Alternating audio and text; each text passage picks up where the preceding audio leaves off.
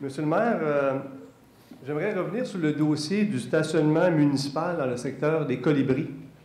Euh, à la dernière réunion, vous avez voté une résolution autorisant euh, une dépense de près d'un million de dollars.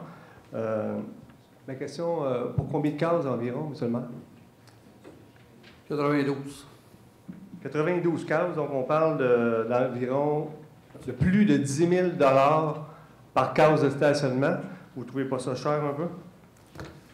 Je ne peux pas vous répondre, je ne suis pas un expert. Les experts sont penchés dessus. Euh, M. Laplante, euh, c'est, euh, il y a eu des plans et devis qui ont été faits. Donc, je ne pourrais pas m'embarquer là-dedans. Je ne suis pas un ingénieur. Donc, si euh, les plans et devis ont été faits, il y a peut-être euh, M. Baudin qui peut peut-être m'aligner un peu. Ah, mais monsieur le maire, mes questions ne s'adressent pas à M. Baudin, elles m'adressent surtout à vous. Euh, Ma réponse, à, ma réponse à des cinq, je ne suis pas un expert. Vous me dites, si je trouve ça cher, je ne peux pas vous répondre objectivement. Ce n'est pas mon domaine. je Monsieur le maire, moi je pensais que le conseil municipal, que le maire, entre autres, avait une responsabilité justement de, de surveiller, de contrôler les projets qu'on leur présente. Là, ce que vous nous dites, c'est que quand un ingénieur se présente devant le conseil municipal, vous ne comprenez pas ce qui est écrit, donc vous votez parce que vous dites que ça va être beau. Si c'est un ingénieur qui a dit... euh, c'est ça que je comprends? Monsieur le maire, je trouve ça cher, plus de 10 000 par case de stationnement. Puis ma deuxième question, pour quel justificatif? Pourquoi avez- avez-vous besoin de 92 cases de stationnement dans le champ, là, dans le bois des colibris?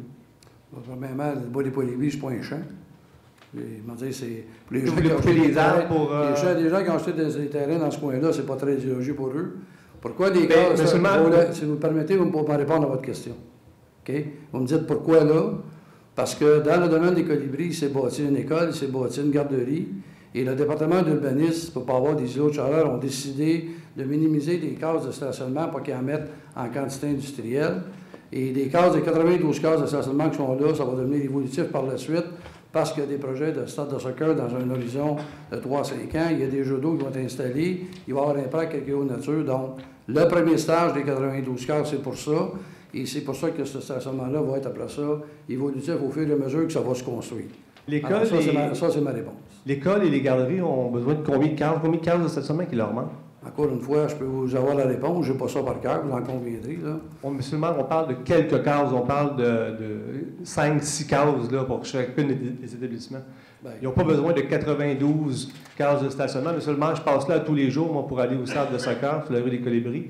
Il y a plein de, de stationnements le long de la rue des Colibris, mais ces stationnements-là ne sont pas utilisés. Pourquoi on n'a pas besoin de stationnement pour les écoles et la garderie? Et là, vous me dites que vous allez faire des cases de stationnement pour des jeux d'eau puis des terrains de soccer qui ne sont même pas construits, qui vont être construits dans 5 ans. Non, ça que je en train de vous dire. Vous avez interprété, là. Je vous ai dit qu'il y avait 92 cases de stationnement. Réponse à la première question.